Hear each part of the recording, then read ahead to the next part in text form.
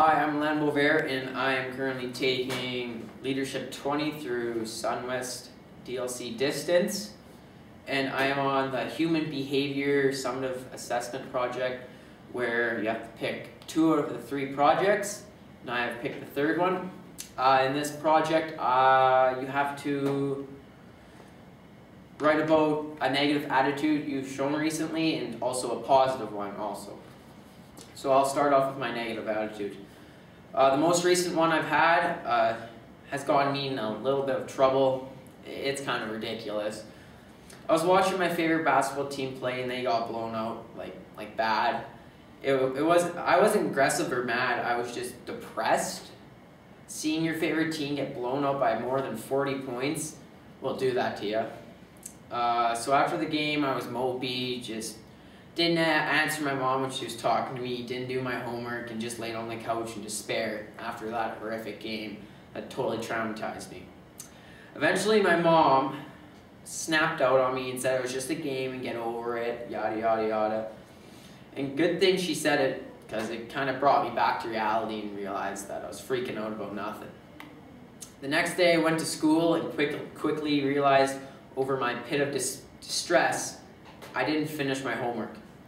I got to my science class and the teacher looked at, looked at it and gave me a 2 out of 10 on it and put it on PowerSchool.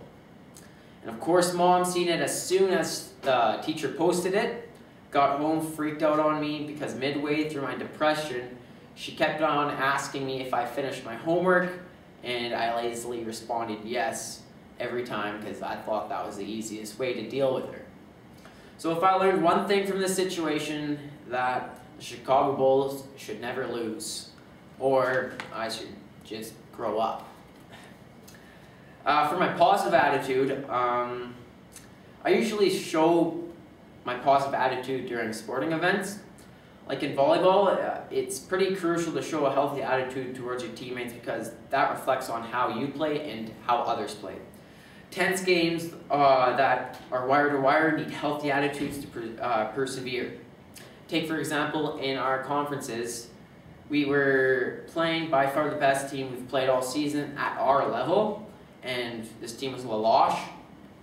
Uh, we won the first set, lost the second, and it came down to the third. Throughout the whole game, we were positive with each other, never got down, and never turned on each other. While the other team were slowly getting mad at each other and yelling, and just were just a negative attitude. Uh, that game, I think I was very positive. I was high-fiving, I was loud, I was very verbal, and always had a smile on my face. And pers personally, I think people look up to me to always give the team a morale boost, which I did that day. And of course, the more positive team won, and we won the conferences that day. Um, if everyone is positive in a team or group, that's what makes them successful a positive vibe will always uh, make you successful. Uh, thank you for listening. That's all.